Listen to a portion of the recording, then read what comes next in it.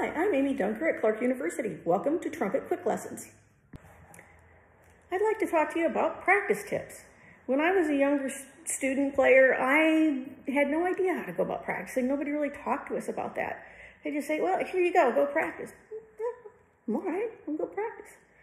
Um, but today I'd like to really look into some real strategies that will help you do this efficiently and get more out of it and move ahead faster. First thing to do is look up all the terms on the page. Fast, slow, whatever those terms are, and also look up a little bit about the composer. When were they born? What kinds of music did they write? What else did they write? Um, what other types of music were written around that same time? You might even want to go on YouTube and just listen to random pieces by that composer. The next thing to really think about is what do you want to say stylistically and musically? What's the style? What's the dynamics? How do you get to and from the climactic points? Plan them into your practice. They're not afterthoughts. Um, a lot of people wait to the end. They practice all the notes and all the rhythms and what what, and then oh yeah, I got to put those crescendos and decrescendos and dynamics in. Practice them from the beginning. Put all that thought and all that into your practice from day one.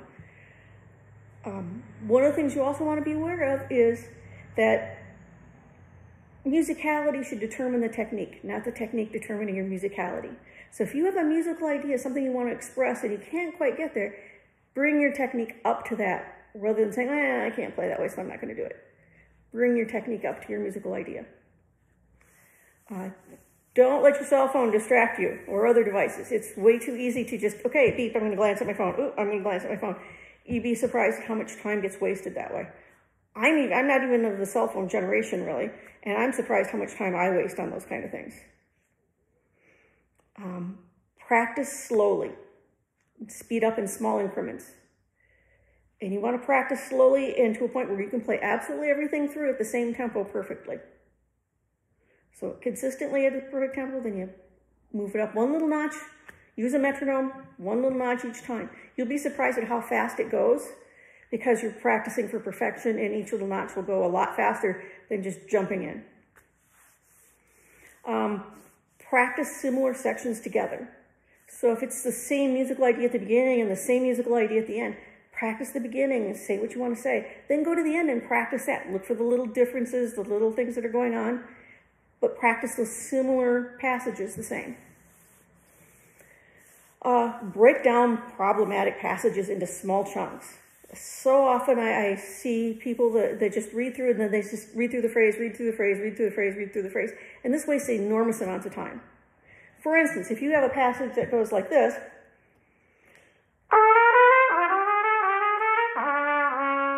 and you mess up, let's say the second 16th, then you want to go, the second group of 16ths, then you want to go,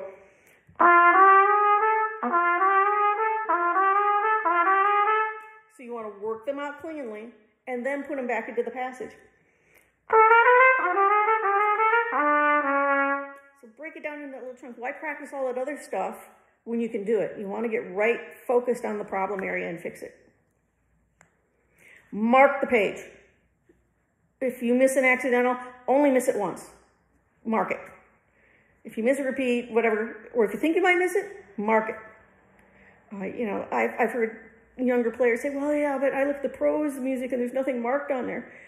Well, oftentimes it's because one, they've developed a lot of technique over the years. Two, it may not even be the first time they've practiced this. It may be a replacement book for an old book that either graduated with a student or self-destructed over all the years of practice. And some of these things that they will be working with students, they've played for 40 or 50 years.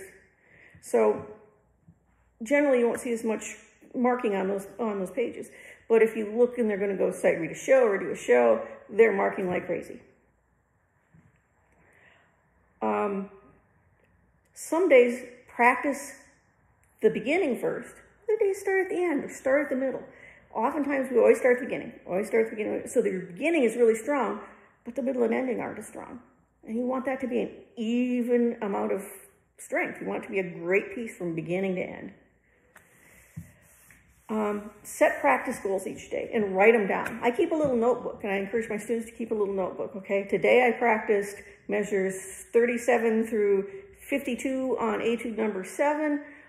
Measure 43, I worked out problems. I should double check that again because just to make sure it's solidified, my, that I've, I've really got it under my fingers. Then I went on and did my scales or I worked on minor scales today, all that kind of stuff. Then the next section, I go right next to each one, one of those things and say, what do I want to work on in my next practice?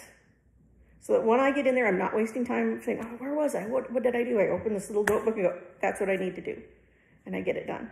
So it just really maximizes your timing and keeps you well organized. I also try to practice all the things I'm working on every day. Uh, I've seen people that have, you know, work on one thing diligently, and then they go on to the next thing, and then they go on to the next thing, and by the time they get on to the third thing, they've kind of lost some of their skills on the first thing. Just over time, it's just a normal human process. So make sure you're touching bases with everything each practice session, even if it's, okay, I own this, I just need to read through it, or I just want to go through a couple of real tricky passages that I, that I, you know, give me some problems and I've had to work on. But touch each piece every day. Uh, be able to perform the entire work clearly and with a metronome. Be able to go straight through it with a metronome at whatever tempo and play everything cleanly. It gives you confidence when you go in to perform it. It gives you confidence when you go into audition on those things. Most anxiety really comes from not really being sure, not really being prepared. But if you can do this several times in a row, you'll walk in there saying, yeah, I can do this. Um, and then be able to take the metronome away and keep your tempo and stay in time. And that's your final, final goal of, of the product. And make the musical ideas. Um, I can't overest I can't overstate the need for a metronome. Uh, it's one of those instruments that you know we all fight. Oh, the metronome, the metronome. And when I was a student, I was like, oh, I hate playing with a metronome. It's so hard. It's so difficult. So difficult because I'm starting with the metronome on passages that I'm learning now that are difficult for me anyhow. Step back the first few times you work with the metronome. Just play quarter notes with the metronome. Da, da, da, da and then play a scale, do, re, mi, with the metronome. Then play eighth notes until you're really comfortable with it, and then go back to your music. Because if you start out where you're having difficulties, it's going to be twice as hard to get used to the metronome. So go back and just, you know, spend a week getting used to playing with a metronome.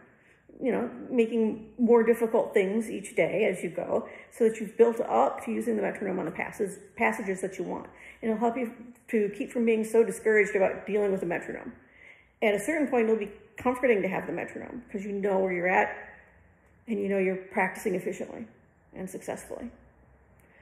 Uh, one technique I learned from a professor of mine, Dr. Robert Spring, who used to teach at Arizona State University, a fabulous clarinetist, um, was the seven pennies. He put seven pennies on his on his stand, and each time he played it right, he moved pennies from the right hand stack to the left hand stack. If he could play it seven times in a row and all seven pennies got to the left, great, he could move on. But let's say he got three pennies the fourth time he messed it up, all the pennies go back. Start all over with the seven pennies. But what that does is ensure that you've practiced it correctly more times than you've practiced it incorrectly. Oftentimes I've seen people that will, you know, play the passage, make a mistake, play the passage, make a mistake, fix it, and then move on. Well, they've practiced it wrong more times than they've practiced it right. So the seven pennies is a way to get you to make sure that you're practicing it more times correctly than incorrectly. I hope all these ideas helped. Happy trumpet playing.